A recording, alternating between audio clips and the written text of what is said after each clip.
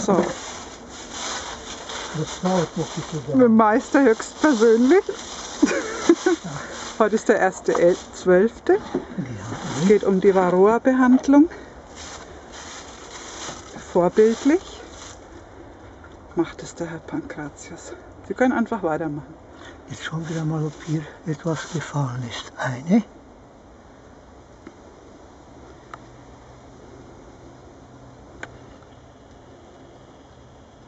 Dieser ist unten mit Brettern versehen voll, während dieser hier offen ist. Mhm.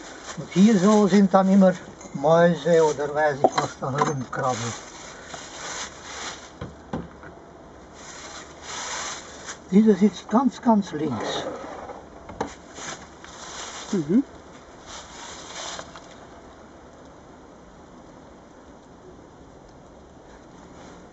Jetzt hoffe ich auch, dass er schön aufnimmt. Irgendwie verwundert Hier haben wir eine.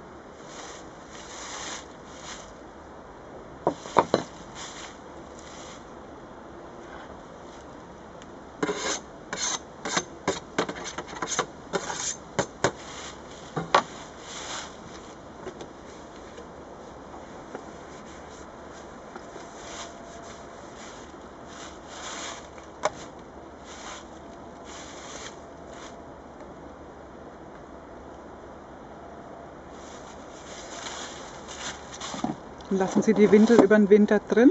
Bei diesen muss ich sie lassen, denn wenn nicht, ist der ganze Schmutz hier unten und den kann ich nicht wegputzen. Mhm. Hier muss ich die Windel immer wieder äh, nachschauen.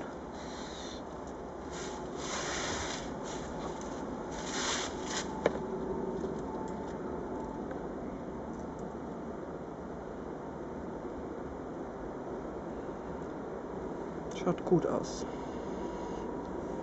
Ich denke auch.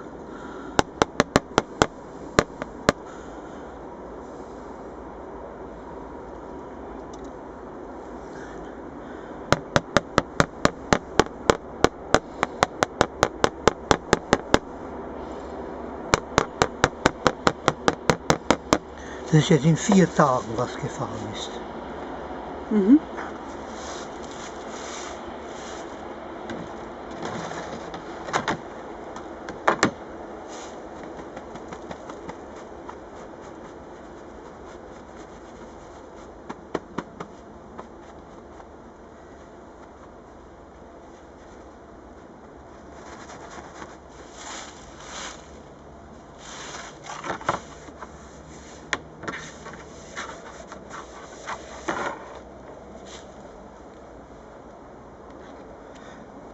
Diese zwei, die ich behandelt habe, das eine war dieses und das andere war das. Die habe ich Ende Oktober behandelt. Da ist nach der Milchsäurebehandlung ziemlich viel gefallen. Also ich bin zufrieden, dass es und ich schaue jetzt, ist, ist so gut wie Frieden. Und diese zwei, da hatte dieses so ein Brut, noch so ein Brutnest. Und der andere hatte gar keine Brut, Ende Oktober. Und so sollen sie auch sein. Hier ist mal eine.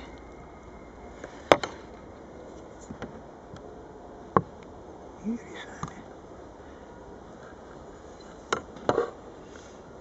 Das ist vielleicht, wenn Sie senkrecht aufnehmen, ist es vielleicht besser, nicht? Es kommt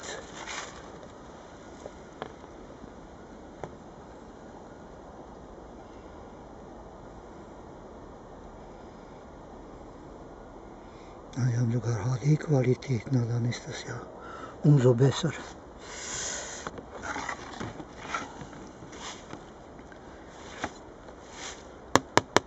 Ja, jetzt schauen wir mal. Mich wundert, dass der vorhin einfach aufgehört hat zu filmen.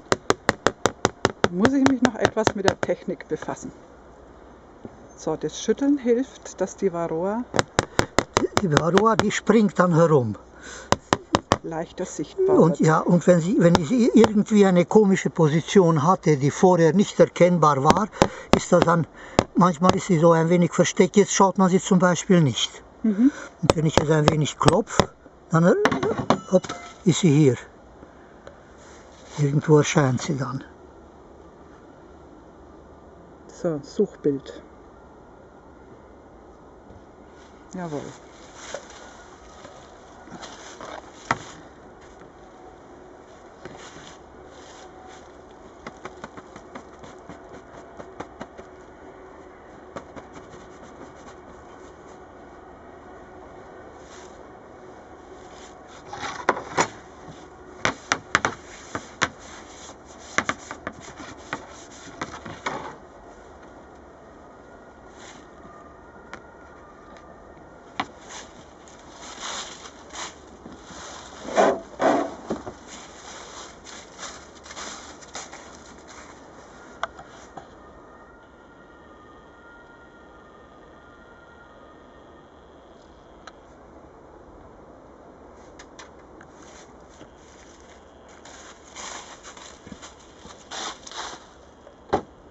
So, er führt Buch. Wunderbar. Diese war auch stark, dieses war stark befallen, dieses Volk. Und das hatten Sie ja auch mit Milchsäure noch. Dies hatte ich behandelt, Behandelt. ja. Und da ist auch viel gefallen. Und vorher auch mit Ameisensäure. Vorher mit Ameisensäure alle. Und da, nachdem bei diesen zweien, eigentlich waren vier, die mir irgendwie noch Kopfzerbrechen gemacht haben. Zwei, aber habe ich gedacht, ey, vielleicht kommen die durch. Da schaue ich dies eine.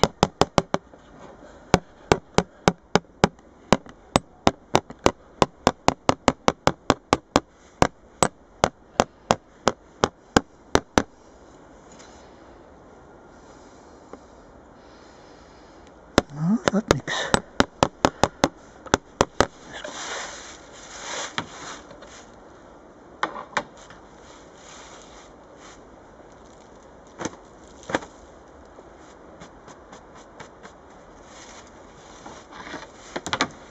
Und beobachten Sie jetzt weiter den Varroa-Fall? Nein, jetzt nicht mehr. Okay, Sie lassen. Ich gehe jetzt davon aus, sie sind brutleer und es wird nicht mehr viel fallen. Und es ist ja auch wenig, wenig befallen. Wenn noch irgendetwas kommt, das müssen sie verkraften. Das schaffen Sie. Genau. Das heißt, Sie haben so gut beobachtet und behandelt, dass Oxalsäure jetzt nicht mehr nötig ist. Nein, die, ich mache auch keine Oxalsäurebehandlung. Ach so. Sie machen das mit Ameisensäure und Milchsäure. Und Milchsäure, ja, und falls es, sagen wir mal, im Dezember notwendig sein sollte, aber ich, ich prüfe jetzt nicht mehr bis in April. Mhm.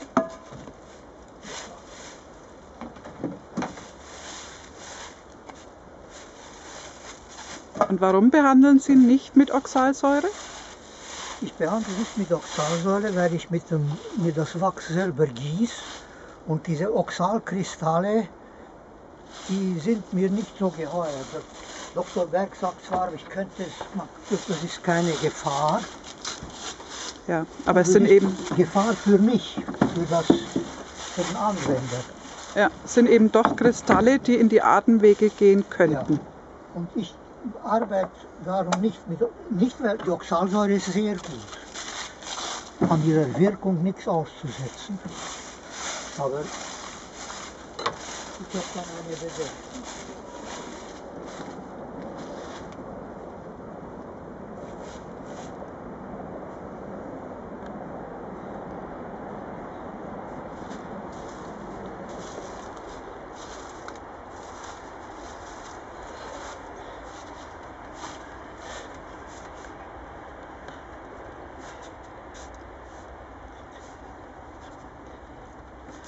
Also innerhalb von zehn Tagen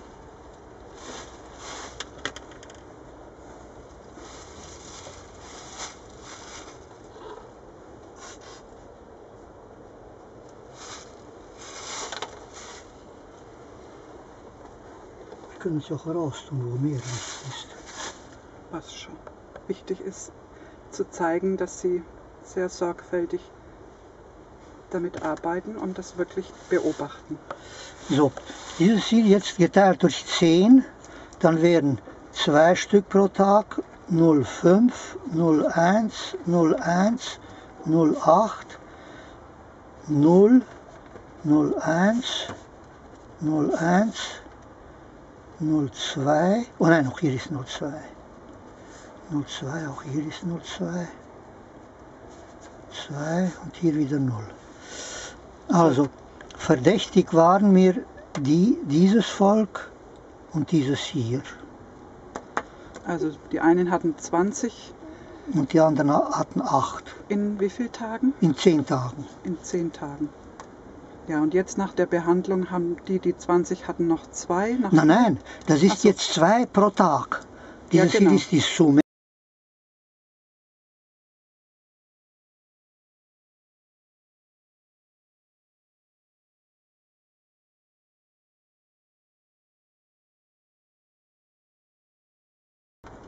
Also das ist der pro Tagesfall. Also die haben zwei pro Tag und das ist zu viel. Eins, eine, eine pro Tag soll sein. Wenn es mehr als eine pro Tag ist, dann muss man behandeln. Mhm. Dann wird dieses hier das behandeln wir. Diese anderen lassen wir so. Dieses ist so auch grenzwertig, aber ich lasse es so und ich, ich weiß davon und im Frühjahr bin ich dann aufmerksamer. Ja.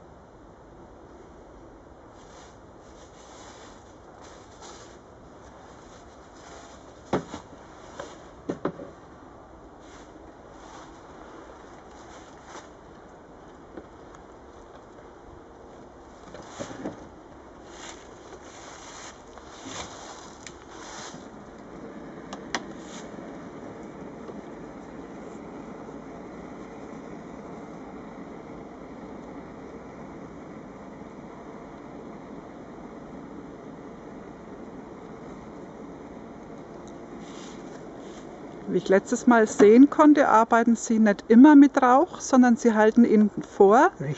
falls das Volk Ja. in irgendeiner Weise unruhig ist. So,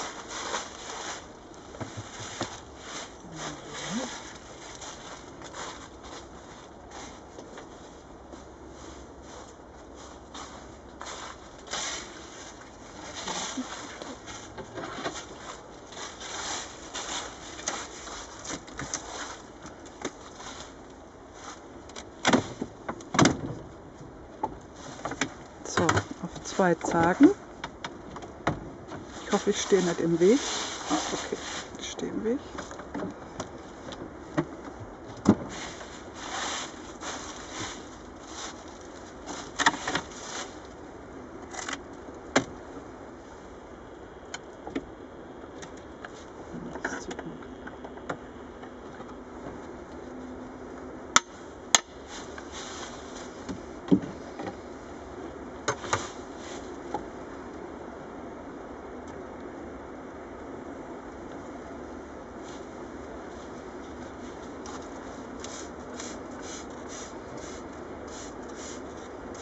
So, nicht nass machen, sondern so, dass sie silbrig glänzen. Richtig.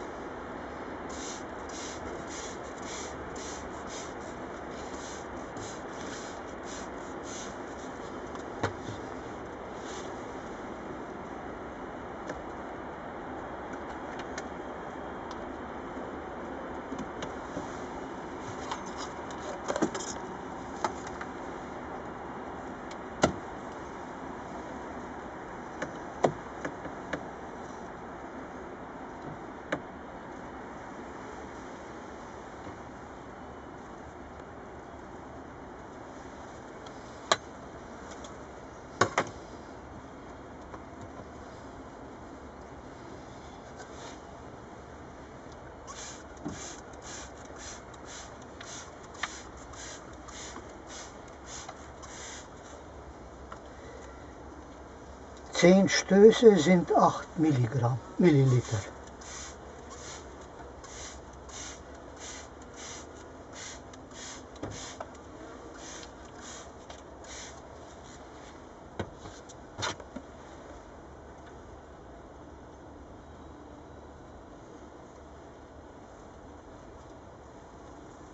Was schauen Sie da jetzt? nach Brut. Ah, Und wenn Brut sein sollte, dann wird die aufgekratzt. ah okay.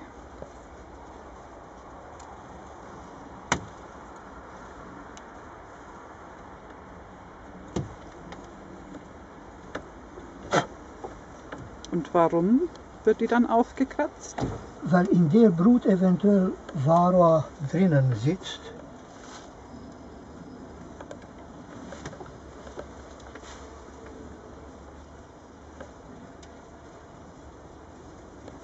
Und dann die Milchsäure da noch rein Ja, diffundiert oder durch die Bienen dann da noch hinkommt. ja.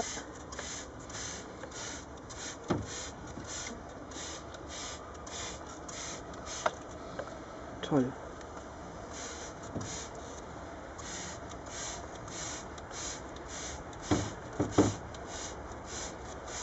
Wie viele Bienen sind jetzt in diesem Volk circa?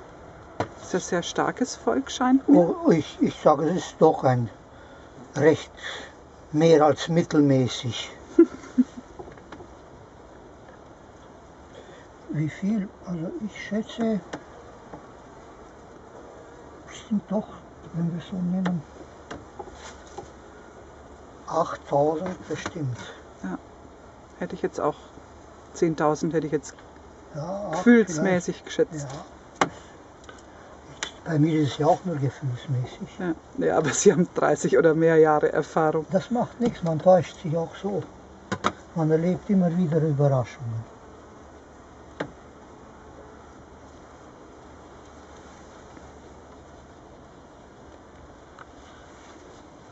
Hm, Die ist eine recht alte Wabe.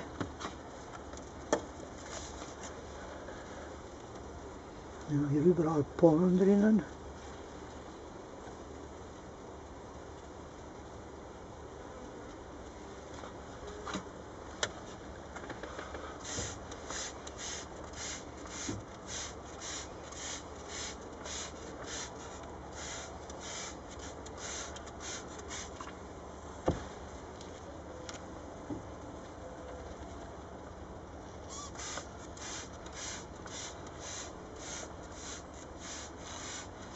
Wie viele Bienen haben Sie jetzt schon gestochen?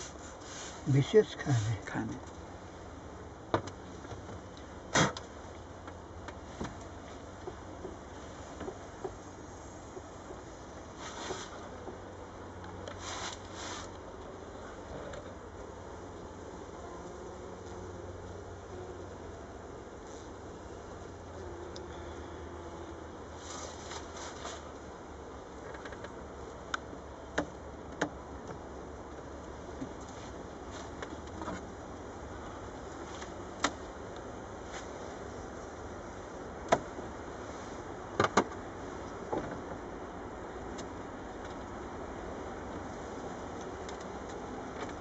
Wir haben jetzt vielleicht ja, schätzungsweise drauf. 6 Grad.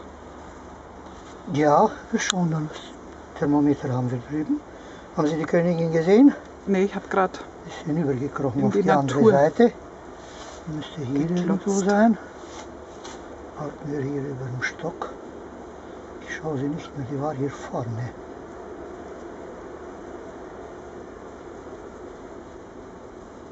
also exakt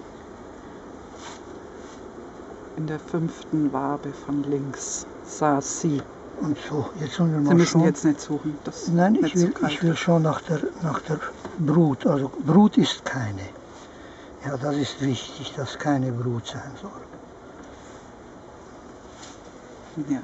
Und wie gesagt, wenn welche Hopp, jetzt ist sie wäre, wieder hinüber. Hier so muss sie sein.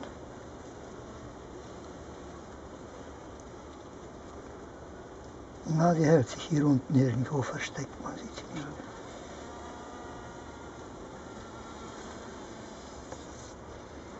Und die Bienen, die jetzt rausgeflogen sind, schaffen es aber wieder zurückzufliegen. Na, teilweise.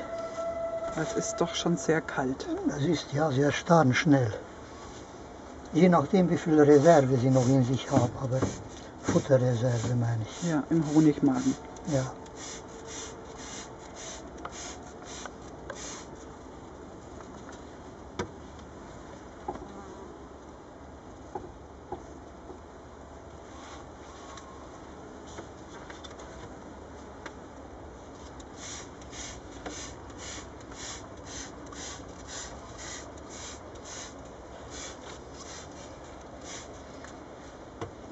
Sieht die jahrzehntelange Erfahrung, ruhiges und gleichzeitig zügiges Arbeiten, was ich als Also- Jungimkerin noch nicht fertig bringe. Ich bin immer noch nervös. Nervös, ja, das, das wird sich mit der Zeit geben. Genau. Denken Sie, dass ich am Anfang auch meine Probleme hatte?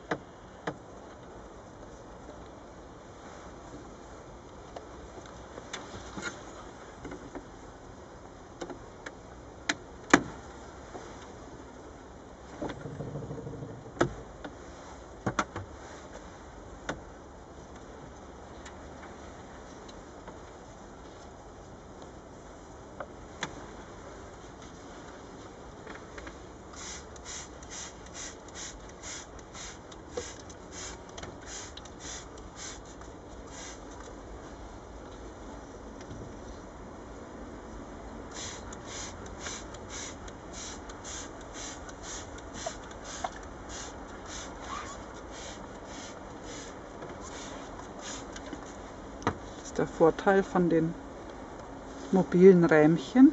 Ich mit meinem Stabilbau Varé habe da jetzt etwas Probleme noch mit Milchsäure zu arbeiten. Ja, das, das ja.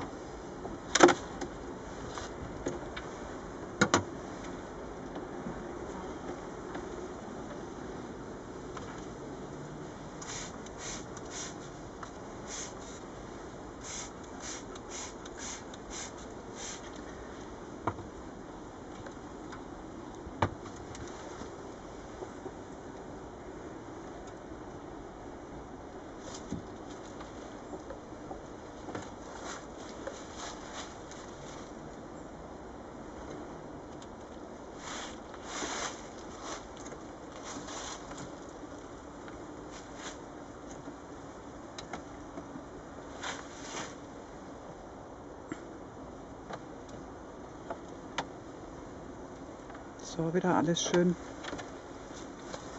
bündig. Damit die Wabengassen schön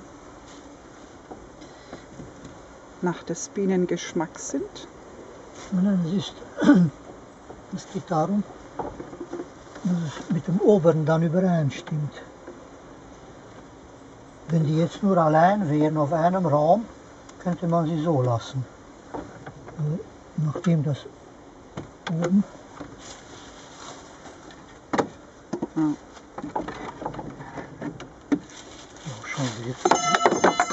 Ja. Das ist schick.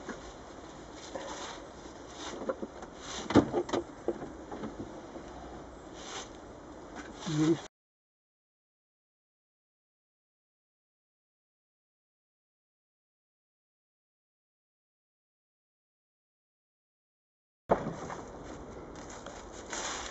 So. Das war jetzt die letzte Behandlung für dieses Jahr. Klappe zu. Im Februar geht es dann wieder weiter mit Sichtung der Futtervorräte.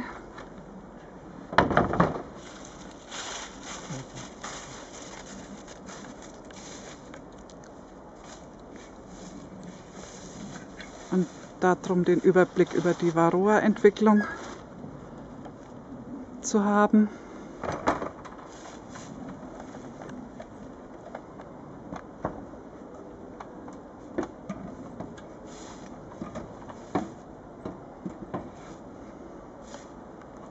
was, was ich Ihnen noch zeigen wollte.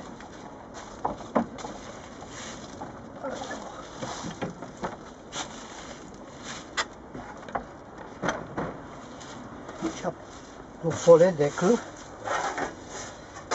aber ich habe für die Ableger Deckel, in denen ich einen Futtertrog drin habe. Ah, Dieser Deckel, praktisch. dieser ist voll. Die- Diese tausche ich jetzt jedenfalls um. Ich habe dort andere volle Deckel, denn im Winter sammelt sich hier Kondenswasser. Aber das mache ich nicht jetzt, das ist mir jetzt zu spät. Wenn ich einmal wieder komme, dann muss ich diese Deckel alle umtauschen. Denn hier drinnen ist der Futtertrog und da kommen die Steigen hoch und ich kann die füttern. Da füttere ich die Ableger, die werden jeden zweiten Tag gefüttert. Aber also im Herbst, aber Im jetzt, jetzt nicht mehr. Gleich im Sommer, wenn Ja, die ja. Königin einmal in Eilage ist, sobald die Königin in Eilage ist, flüssig füttern. Mhm. Jeden, so jeden zweiten, dritten Tag 300 bis 500 Milliliter. Sie lassen die, das, das Futtergeschirr jetzt noch drauf? Oder ist noch Futter drin? Da ist kein Futter drin. Nee, Sie lassen es jetzt einfach nur drauf. Ich lasse es jetzt, lasse es jetzt und die, da kommen die anderen. Ich habe die dort die Deckel und ich bin Okay. jetzt zu faul. es Ja, okay. Die kommen aber weg zu Winter.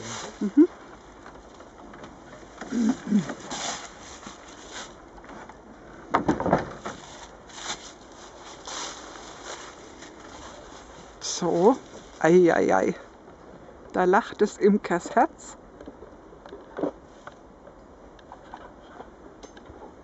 Zargen. Sind das Ablegerkästchen?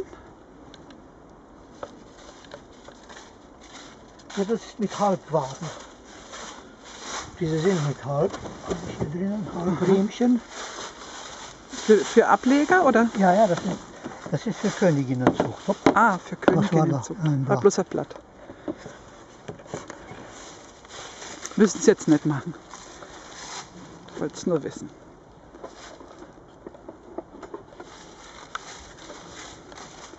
Das heißt, Sie züchten auch. Bitte? Sie züchten auch. Ja. Das ist, wenn ich auf. Ich habe es mir gedacht, ich soll auch auf Belegstelle eventuell wandern. Habe es aber noch nicht gemacht. Mhm. Und dann ist dann eben diese Belüftung unten. Ja, Ja, kann man dann. wichtig.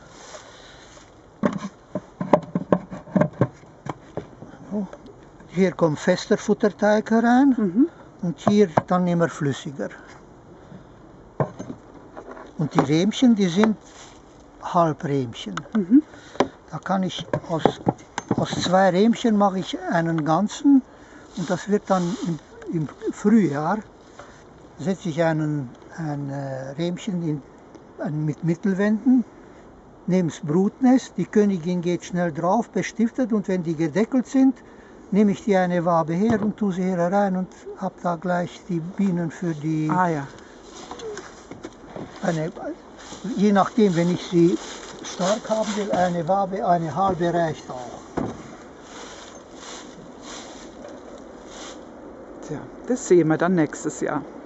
Ja, und hier habe ich dann immer Reservewaben, dass ich nicht jedes Mal nach vorne laufe, wenn ich Alles da etwas brauche.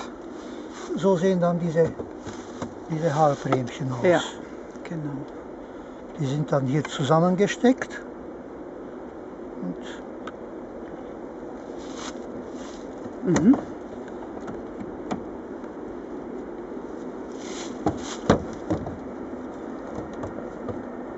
Und hier ist seitlich, da und da ein Gitter, damit immer Durchzug ist. Am besten wäre es ja hier und hier, das Gitter, oder umgekehrt, hier und hier, Ja. damit so Durchzug ist. Aber da regnet es mir hier rein und darum habe ich das Gitter dann wenigstens so gemacht. Jawohl.